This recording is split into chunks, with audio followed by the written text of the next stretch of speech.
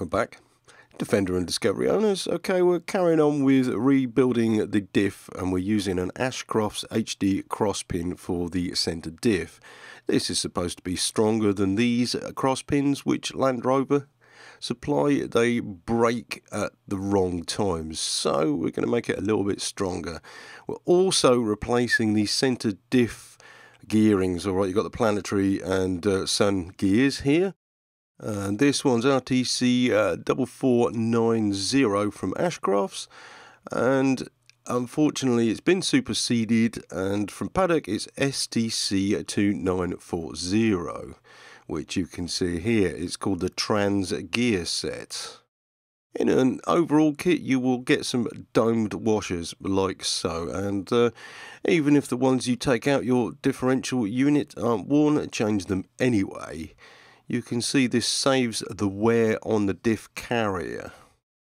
If the components have actually exploded in your diff carrier, then you might consider using another one. Right, okay, so we have our gears here and here. Uh, basically, what we need to do is use these thrust washers which fit in here and on the other side there. They come in the Ashcrofts overhaul kit and some kits they don't actually appear in them but these are standard size for fitment okay they fit in like so. Always replace them when you're doing a rebuild and the rebuild kit as you can remember is the master rebuild kit from Ashcroft Transmissions. Right, so also you remember we had play on the high selection gear there, and this was due to a worn bush. You can see the wear on the inside of the bushing and also on the outside. Now we did a little bit of a search, IEE 100050, and came up with the right parts from a Paddock, which the bush is very inexpensive, although it is a special order. Right, so here's said bush. It's actually fitted on the wrong way around at the moment, just to see if it fits well, and it does. It's actually taken the slack up completely on the diff carrier itself, and we'll check it against the gearing or the inside of the gear here, and that's a nice fit as well.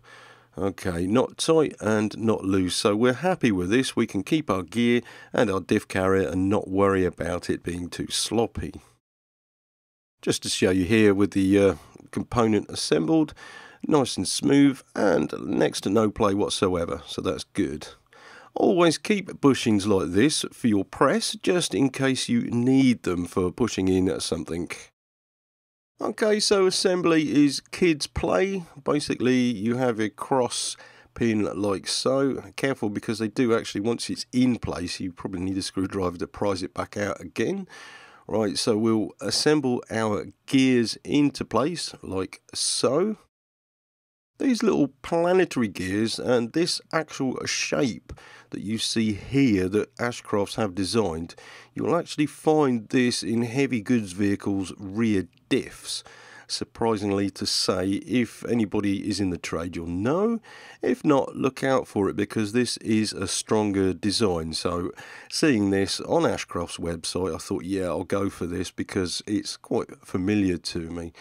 Right, so we'll fit our components together with the domed washers in place.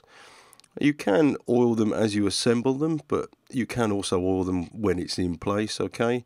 Now, I've got it like this. This is how it's supposed to fit, okay? So you have your planetary gears. You have a cutout there for oil feed.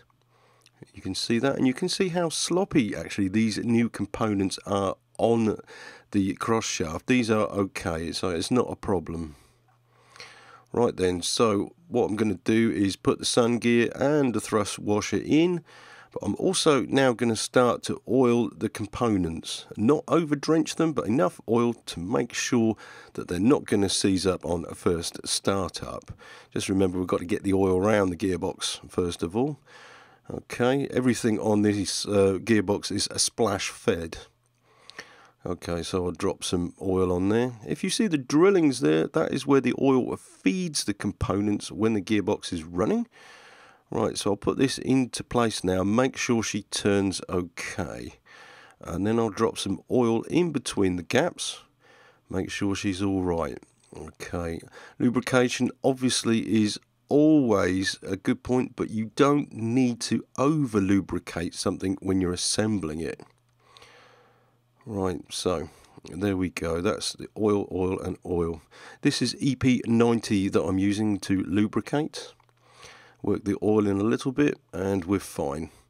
Okay, to, so this top sun gear here fits like so, and we have no rough movement whatsoever, so this is a good sign. If the gears were badly made, you'd feel it as you were turning them. Right, so the next thrust washer is oiled and we can then fit the top part of the diff carrier into place. Now remember we had markers here and they match up because these components are made as pairs okay? So you want the X's all together. You can see that this is vitally important. It will not fit any other way. The threads on the bolts are lightly oiled and not thread locked these will be torqued down to 60 newton meters. Okay, I'm just checking in there to make sure the gearing still works and then we'll screw them down. There is a sequence for doing these bolts which is doing them opposites or 60 degrees to each other. I'd advise that you do these in stages, maybe two stages, and then torque the bolts down. Okay, once you've done that, then put it in a uh, vise with soft jaws. You can see I've not nipped it up very tight and I'm doing it up to 60 newton meters. I'm trying not to have the components scored up at all. But once it's been torqued up, there's not a problem. Okay, that is now ready to check to make sure that the differential unit on the inside moves freely and smooth. There is a Land Rover sequence to do this. If you want to look in the workshop manual, the quick way of doing it is just make sure it's not too tight. Okay, so you can turn it lightly with your fingers. If you had to use your wrists to turn it, it is too tight and you'll need different thrusters in there. Okay, so next thing to do is to assemble the gears onto the carrier. Okay, now I'm oiling the shoulders and the running faces. So you can see here a light bit of lubrication. Lubrication never hurt anyone whatsoever. You can uh, confirm that with your wife. Right, okay, so first of all we have the low gear into place. Okay, this won't be used with me that often. And then the uh, dog selector hub. Okay, if you remember how I was going to put this together, the warm part is going towards the low gear selection. I want to keep this uh, running better in high selection. Right, so I have my bush that's been oiled nicely. Okay, that's all the contact faces are oiled. Okay, you see that? And then what happens is that the larger part of the bush or the flange part of the bush goes towards the top. That's where the bearing will push onto okay, to hold it all into place. All right, so this should work quite nicely. Okay, if you're anything like me, you might well be forgetful. So what I do is leave the bearing races in the case until I'm ready to recover them. And then I can identify them and fit the right bearings in the right places because the two bearings on this diff carrier and gear carrier are different sizes. So I'll take the one out of the casing, which will be to the rear or the rear housing. I've got that one out. Apologies for the uh, sound effects there. Right, I'll just keep that so I know which side it goes on to. I'll get this casing out of the way for now. And then the front housing, well, actually, you need to strip this down to be able to set this up. Okay, now the bearing race is in there and I actually left the top bearing in which I took out later but basically what you're doing is knocking the bearing race out and there is also a spacer in here as well the shim is vitally important for setting up uh, the bearing preload okay so the housing here you can see and then we have the bearing race and the shim make sure the shim is not burred and the bearing, we can get the numbers off to make sure we match the bearings correctly. Okay. So what we have here is a Y23011KH, which is a Timken bearing. And the Timken bearing, I think this is, or SKF, I'm not sure. Outer race is Y32011X. Okay, so they're the same size bearing. So this one fits on the uh, front housing like so. And the bearing itself will be fitted to the differential carrier. Just a word of warning, always keep your bearings in packets when you're not using them. Do not put them on the bench, however tempting it is, until, well, just don't. Just put them in packets and keep them clean as possible. Okay, so the other bearing, which is a Timken as well, uh, this number here is different. This is something like JLM104910. Okay, if you can see that on the screen.